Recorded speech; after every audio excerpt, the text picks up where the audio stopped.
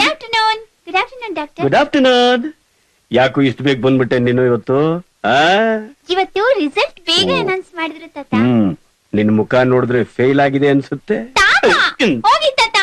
ನಾನು ಯಾವಾಗ್ಲೂ first rank ಗೊತ್ತಾ? Congratulation my boy doctor coffee ಕುಡ್ಕೊಂಡು ಹೋಗಿ. ಬರೀ ಕಾಫಿ ಅಲ್ಲ ಅಂಕಲ್ ನಮ್ಮಮ್ಮ ಎಷ್ಟು ಚೆನ್ನಾಗಿ ಅಡ್ಗೆ ಮಾಡ್ತಾರೆ ಗೊತ್ತಾ? ನೀವು ಖಂಡಿತ ಊಟ ಮಾಡ್ಲೇಬೇಕು.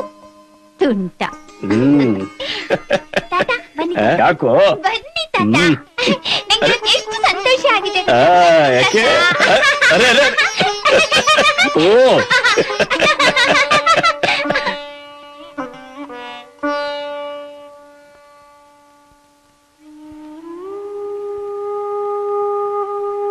ಮಾವಯ್ಯ ಹ್ಮ್. ಹಾಲ್ ತಗೊಳ್ಳಿ.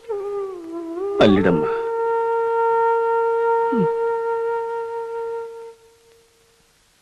ಯಾಕೆ ಮಾವಿ ಒಂಥರ ಇದ್ದೀರಿ?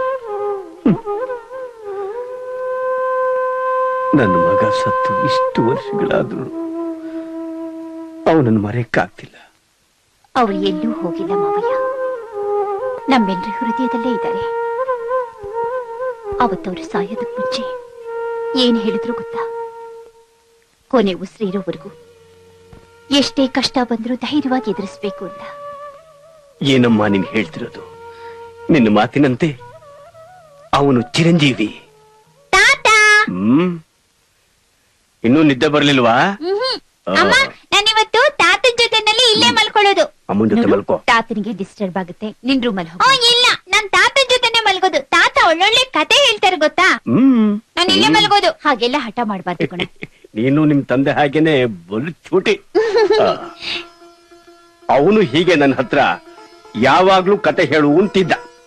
ತಂದೆ ಸ್ವಭಾವ ಮಗನಿಗೂ ಇರುತ್ತೆ ಅಂತಾರೆ. ಹಾಗೇನೆ. ಅಲ್ವೇನೋ ಬಾಬು ಹ್ಮ್ ಯಾವ ಕತೆ? ಕಥೆನ? ಕತೆ ಏನು? ಒಂದ್ ಒಗಟ್ ಹೇಳ್ತೀನಿ ಕೇಳ್ತೀಯಾ?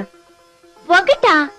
ಹ್ಮ್. ಯಾವ ಒಗಟು? ಒಂದ್ ಊರ್ನಲ್ಲಿ ಮೂರ್ ಜನ ಅಕ್ಕ ತಂಗಿರಿದ್ರಂತೆ ಮೂರ್ ಜನನು ಬುದ್ಧಿವಂತರಂತೆ ನಾನ್ ಮುಂದು ತಾನ್ ಮುಂದು ಅಂತಿದ್ರಂತೆ. ಮೂರ್ ಜನನು ಹೊಣೆಗೋದ್ರಂತೆ ಒಬ್ಳು ಮುಳುಗಿದ್ಲಂತೆ ಒಬ್ಳು ತೇಲದ್ಲಂತೆ ಇನ್ನೊಬ್ಳು ಕರಗಿದ್ಲಂತೆ. ಉತ್ತರ ಹೇಳ್ತೀಯಾ?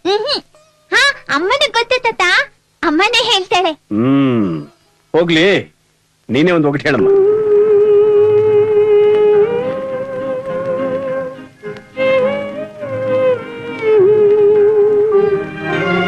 ಮಗುವೆ ನನ್ನ ಒಗಟ ಕೇಳು. ಅದೇನೆಂದು ಹೇಳು. ತಿರುಳ ಯಾವುದು